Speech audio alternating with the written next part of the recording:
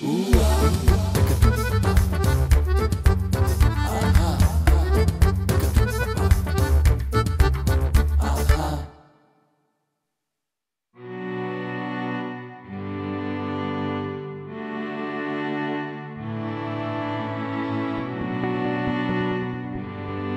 Na desnoj obali reke Morače, u proširenom delu kanjona, na prirodnoj zaravni slikovitog pejzaža podignut je manastir Morača. Reč je o jednoj od najznačajnijih srednjovekovnih svetinja. Nalazi se na polovini puta Kolašin Podgorica. Morački hram je podigao 1252. godine Stefan, sin kralja Vukana, a unuk Nemanjin, što se spominje u natpisu na nadvratniku zapadnog portala. Kompleks ove svetinje se sastoji od saborne crkve Uspenja Bogorodice, male crkve Svetoga Nikole i zgrade Konaka.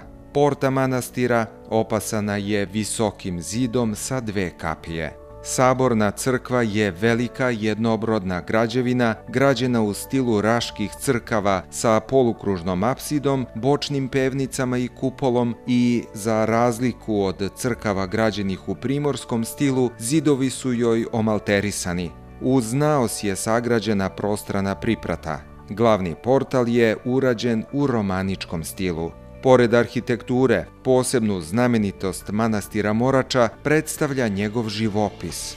Od prvobitnog slikarstva iz 13. veka sačuvan je samo manji deo u Đakonikonu, gde se monumentalnošću i snagom izraza izdvaja 11 kompozicija iz života proroka Ilije.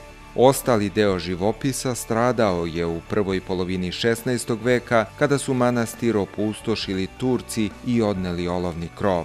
Prema zabeleženom predanju, manastir je spaljen 1505. godine i bio pust sve do 1565. ili 1570. godine, kada je obnovljen pod patronatom igumana Tome i Vukića Vučetića. Ukrašavanje se nastavlja do kraja 16. i tokom 17. veka. U 16. i 17. veku u manastiru je bilo preko 100 monaha.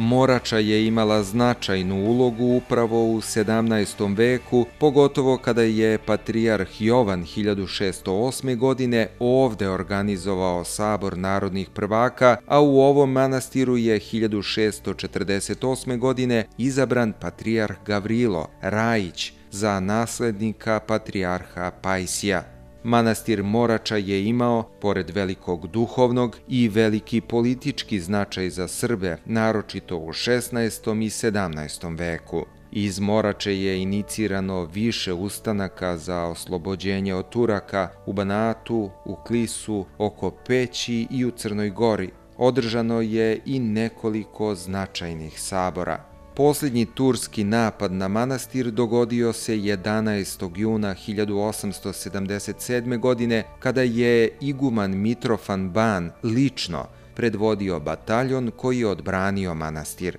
Krst nad ikonostasom rezan je i slikan od 1596. do 1607. godine. Crkva Svetog Nikole je starija od velike, nalazi se pored ograde blizu glavnog ulaza. U ovoj crkvi polukružna niša sa prozorčetom ima ulogu oltara.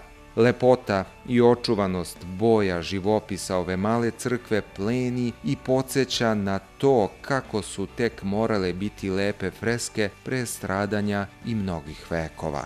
Počevši od 1878. godine, manastir se nalazio u sastavu novostvorene Zahumsko-Raške eparhije, kojoj je pripadao sve do 1931. godine, kada je ova eparhija ukinuta i priključena mitropoliji Crnogorsko-Primorskoj.